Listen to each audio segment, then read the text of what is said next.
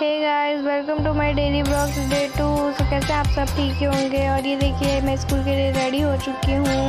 और स्कूल से आने के बाद मैंने खाना खाया ड्रेस चेंज की और मैं हो गई ट्यूशन के लिए रेडी और मैं फ़िलहाल ट्यूशन से आ चुकी हूँ। मैंने थोड़ा नाश्ता किया, ममरा से उमरा खाया। और उसके बाद मैंने थोड़ा सा स्टडी किया। फिर मुझे थोड़ा सा प्यास लगा तो मैंने मज़ा पिया। उसके बाद हम लोग चले गए थे थोड़ा सा इन्जॉय किया, फिर हम लोग रात में खाए पाव भाजी। सुबह आए कैसा